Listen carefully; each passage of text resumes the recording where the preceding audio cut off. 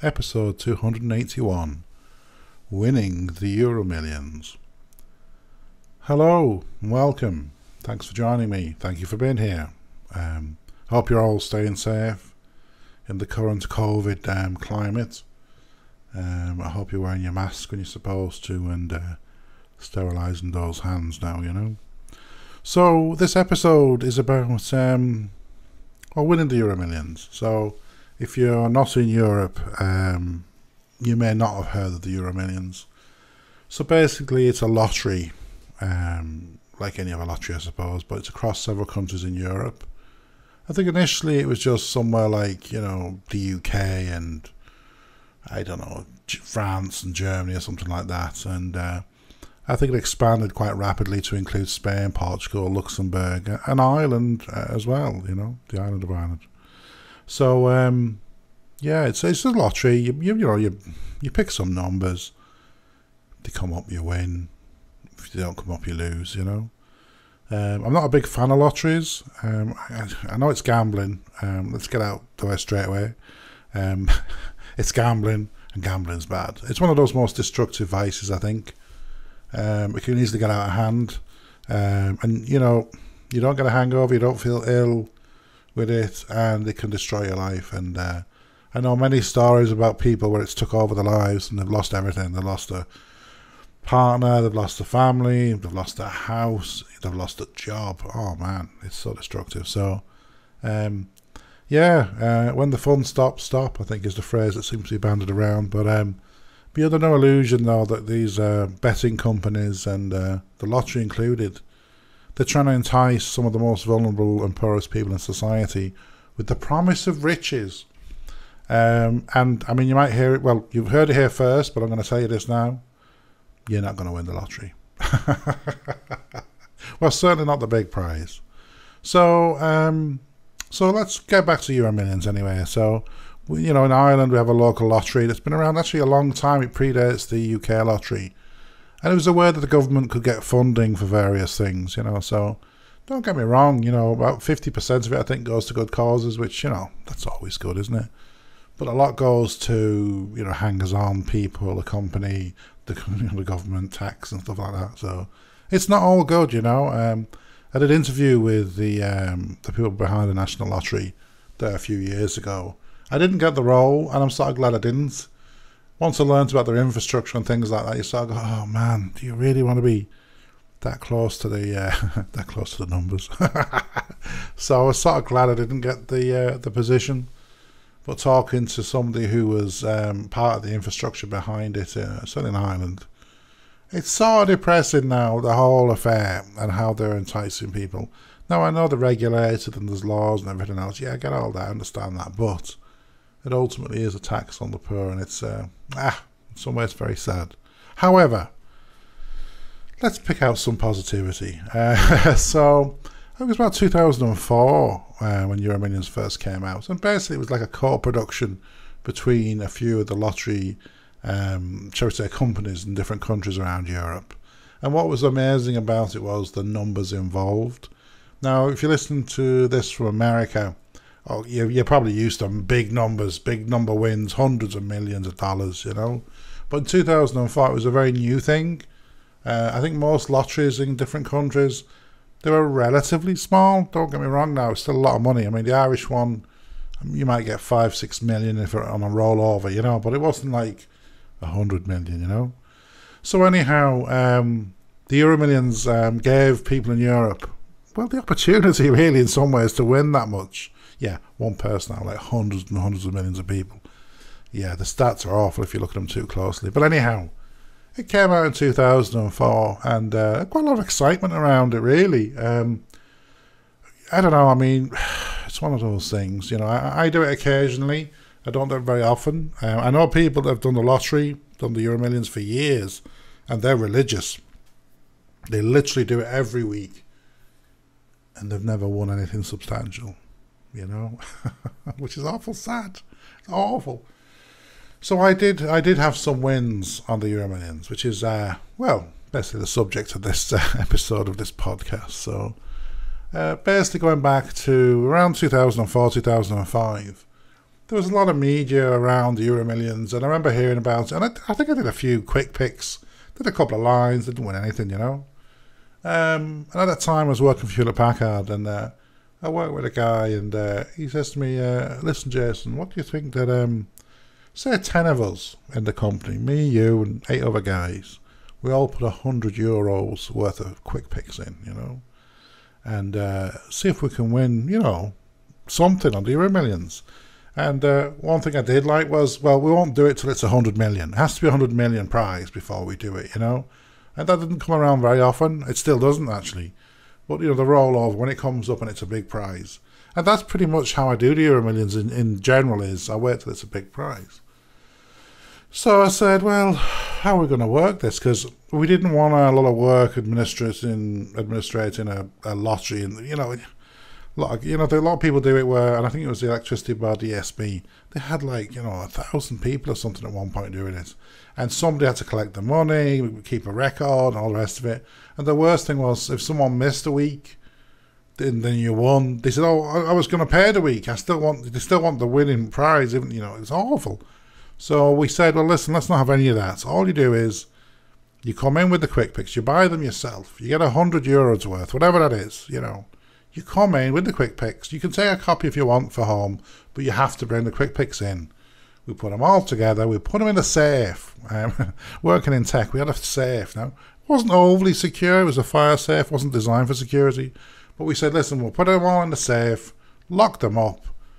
Boom. Come back on the Monday. If we've won, whatever, you know, we'll sort the, we'll distribute the prizes. So, so we did this. It was the first time we did this. So, um, it's quite an experience because in those days you couldn't do it online, so you had to go into the shop to do it. So I went into the shop. Said, Can I have a hundred euros worth of quick picks? You know, and they did them and they printed them all out, and the years we gave them the money. Thank you very much. Because obviously the shop makes a little bit of a, a, cut, you know, when you when you buy these things. They're quite happy, you know. So I had my quick picks, and uh, I don't. I must. I maybe a photocopied them. I can't remember. I certainly I think I took a note of the numbers. And basically, we got me, this other guy, so two of us had, did it, and then another eight, eight of us. We've had eight gullible people. Uh, it's interesting that one person was actually two. Sounds a bit confusing. But one of the network guys said he couldn't come up with 50 euro. So he got in with another guy. So out of the 10 of us, there was actually 11 of us in total. But it was diluted. You know, it was halved for one of them. So anyhow, we uh, we put the numbers in the safe. Um, I'd um, put them all in a spreadsheet, the numbers actually. And then we all uh, we all went home for the weekend. So the draw at that time there was only one draw a week, and it was a Friday. And I think it's um, I think it's nine p.m. or nine thirty p.m. in France. Now they're an hour ahead of of the UK and Ireland. So um, I got the results anyway on the Friday. Put them into my little spreadsheet there now, and I realised that um, well, we had to have won something. So basically, the structure of the numbers on the Euro Millions, and it's similar now. It's changed a little bit, but basically you've got five numbers and two bonus balls, okay? Now, at the time, I think the five numbers were like 1 to 50, and the bonus was 1 to 10. So, you know, you had like, you know, two bonus balls, and you had these five numbers. So I, I had it in my spreadsheet, and I, and I checked the numbers, and uh, I think I nearly fell off the sofa, like, you know, but uh, basically what we got was we got four out of the five numbers, and we got the two bonus balls. So we was one number away from the full Monty and for that particular draw, it was over 100 million euro. So we didn't win 100 million euro. So when I say we won the Euro Millions, we didn't win 100 million euro. But we had the four and the two. Now, looking back 10, I don't know, 10, 12 years later, I don't know what it was. Maybe it was 2008, 2007. I can't remember. It doesn't matter now.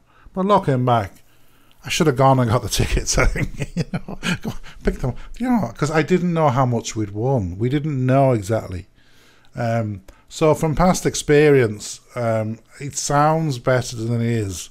So four out of the five numbers and the two bonus balls traditionally had won between 5,000 euro and 50,000 euro, just depending how many winners there were at that level, you know.